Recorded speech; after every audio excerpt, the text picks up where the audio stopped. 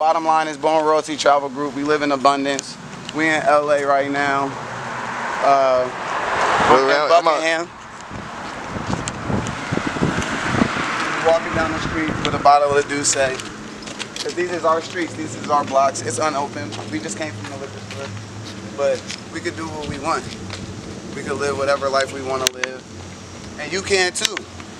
The power is ours, and we and, and we're grateful. We're forever grateful and forever responsible.